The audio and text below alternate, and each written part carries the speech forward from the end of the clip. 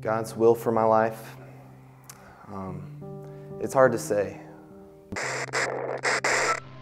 Going into ninth grade, like with all my friends and stuff, I'd always been known as the football guy in a sense. The summer between eighth and ninth, um, I went to a football camp and did well, and um, I just felt like I had it all figured out, and this was awesome, and everything was going great.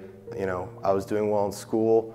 Uh, football, I was playing well. I was, I just felt like I was at the top of the world, and um, God um, tested me in one area. Um, my third game of the season, we played All Saints, and they're, they're a good team. And I went on a pass route, and they hit me, and I knew something was wrong. When I went over to the sidelines, um, it turned out I had a broken hip, and in that moment, um, my life.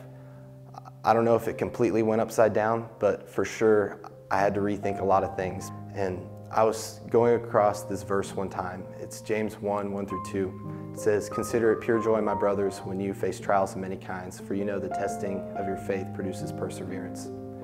You know, I don't have it figured out, but I know God's will for me right now is just to uh, lean on Him. And that's something that that situation brought to light on for me.